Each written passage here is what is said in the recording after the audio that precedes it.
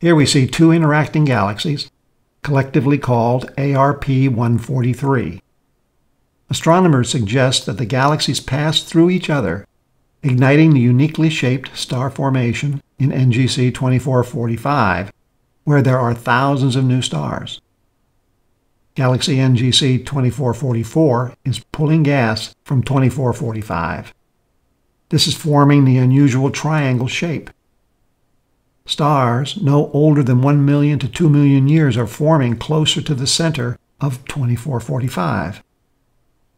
Hubble reveals some individual stars.